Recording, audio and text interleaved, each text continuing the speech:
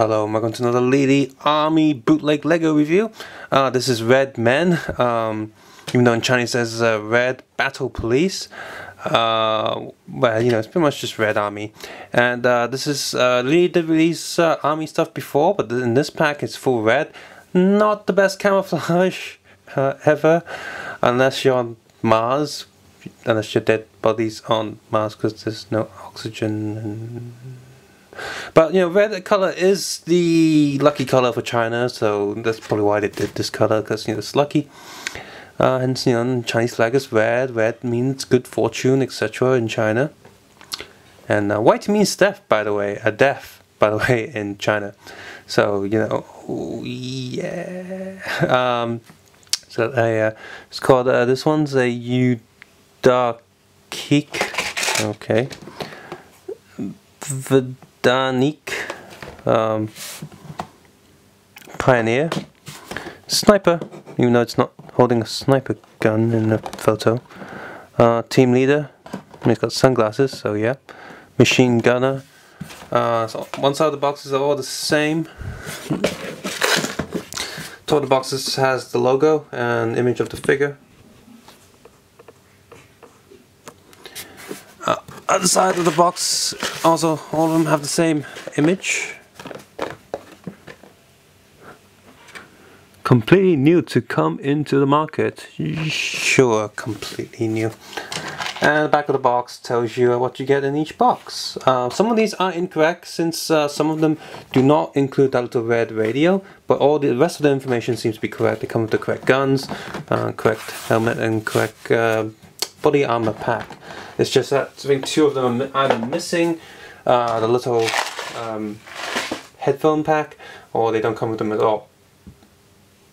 Now uh, all of them seem to come with one extra red hand just like I was showing you on comes with extra hands for all of them. As always Lele comes with cards. Uh, there's one card in that always corresponds with the figure of the box. You see this goes to the older Ninjago style and on the back you got uh, this well, that's a pretty nice logo I guess uh, card quality standard Lele, still the same as previous ones. If you don't know the previous ones, then uh, the card is kind of thickish, and not too soft. The uh, cuts, the edges on the cut, you can still see the little punch dots on the cards. Uh, sometimes the card feel a bit dusty, it's a bit sandy. Print resolution overall is so-so. Sometimes it's it's hit and miss really. So one cap team leader, uh, two snipers, two Udarniks, uh, two machine gunners, two Udarnik. What is that word? And uh, three pioneers. So there's one captain card uh, missing. Pretty much. Well, the rest of them are yeah, like I just just told you the numbers. So. Uh, and now all of them inside will have one of these gun packs. So all of them have this uh, grenade, radio, smoke grenade, uh, laser attachment to the gun, two different kinds of pistols, and two different kinds of knives. Uh, they pop up really easily, nothing snapped and, uh, or broke, so that's good. So uh, let's move on to the figures. Um, as you know, more accessories first. Uh, out of all of them, only one of them has this little eye scope pack. So only one of them comes with these. Uh, as for which figure comes with, you can check out the photos when I upload them onto Flickr. Uh, a few of them have um, one of these one of these guns. They're just loose, they're not attached to any brackets. Or this gun, I think it's M6 M16. I think with a grenade launcher attached to it. So and uh, and the other ones um, some of them come with this gun. Some of them come with this gun. There's two of these in all of them. I think there's two of these two as well. Two of these. And uh, there's two snipers in all the packs as well. Again you can just correspond the back of the box. So let's look at the actual figures. Let's go with Cat Team Leader since he's the leader. All of them have a little red base, which is neat uh, because Lego only has the green base, but now Uh, I think the Lego have another color. I think they had a black one as well. They use for something else. But uh, yeah, definitely no red ones. And now the bootlegs have red ones. Uh, if I just pop his head off, you can see underneath. All of the torsos are printed slightly differently underneath. So, Think that's kind of cool. Um, mean, they are pretty similar to other like tan colored army packs, just that it's a red plastic. Uh, all the joints are pretty tight, nothing too, nothing loose on all of these figures, so that's good. So every single figure has a good build. Everything doesn't feel too solid. It's, pretty solid. Uh, the black outlines are okay.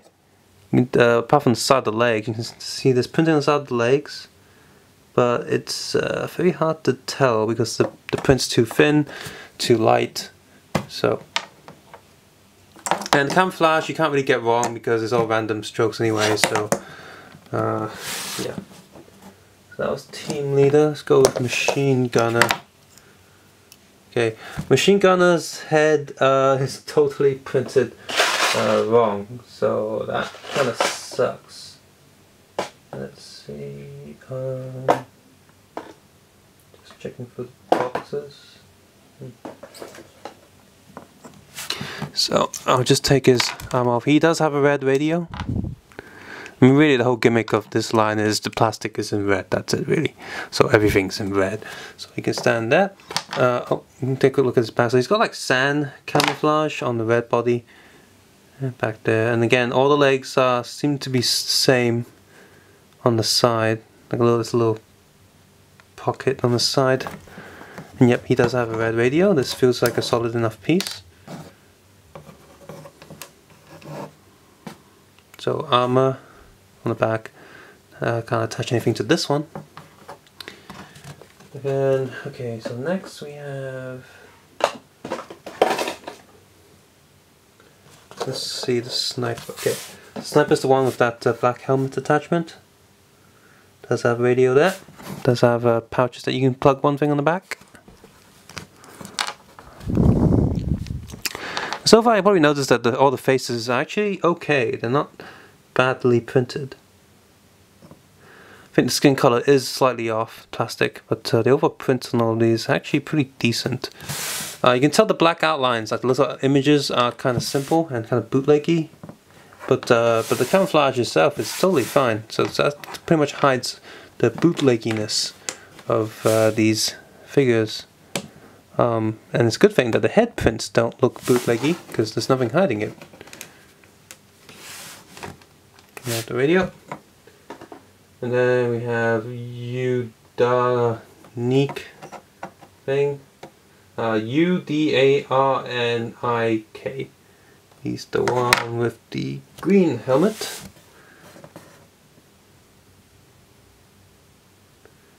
Again, now his side is actually pretty easy to see because green is the opposite color of red.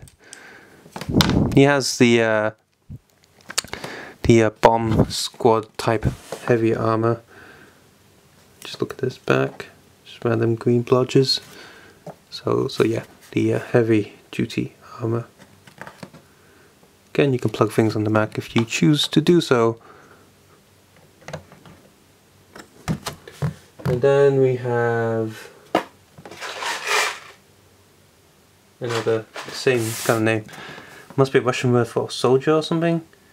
Almost looks like he's a parachute guy. Armor off. Underneath he has Rambo bullets but not on the back. So printing mistake, who would have thought on the bootleg?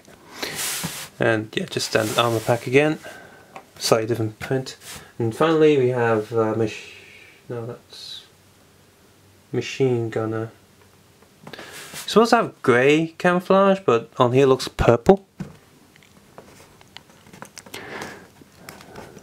Again, uh, I dig that they print the arms and the side of the legs as well. That's really neat of them to do and he has a radio on him as well. It's cool. His uh, his armor is the uh, non nothing on the back to attach, just front pockets.